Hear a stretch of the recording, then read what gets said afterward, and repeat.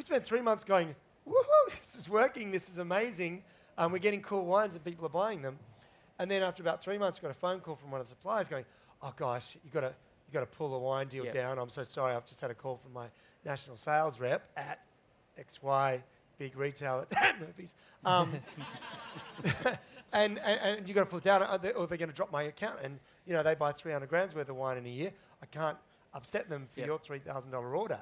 We're like, yeah, yeah, cool, no worries. And this started happening more and more. We'd obviously just come on the radar, and they'd, they'd started, you know, a very effective competitive tactic of just tell suppliers that perhaps that wasn't the best way to go about it. So we found ourselves in a position where we were going to have no good wine um, to be able to do like overnight. So we had to scale and we had to. We're like, what do we do? I don't know. We need to order more wine. How are we going to order more wine? Well, we need money. And we need more people. So we just basically we needed to grow overnight. So we set about trying to raise money, and that was forthcoming. But then we were like, we don't need money. We need people, like audience. So we and we nearly we nearly um, went into a partnership with Fairfax at the time, which was not a bad deal, but not a lot of money. And then we ended up um, partnering with, or you know, partnering. That sounds great. Selling the majority share of the company to a company called Catch of the Day, who were at the time leaders in online retail, and and that did serve to help us scale. They had a big bank account. The press that came out of that transaction was at a time when everyone was talking about group buying sites. That all worked. Um, and, and, and we learn a lot because they were smart operators.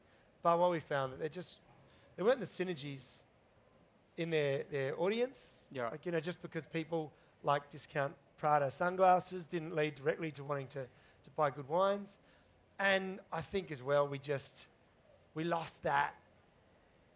Well, it was best illustrated when we bought it back because we bought it back 15 months ago and that was delicate. But we bought it back and it was June 30, midnight. It was the handover and we bought it back with a zero balance sheet. Effectively, no money in the bank, no stock, no anything. Happy new financial year. Yeah, yeah. T- well, that's we used that date to get the deal across the line, you know, uh, and so that was effective.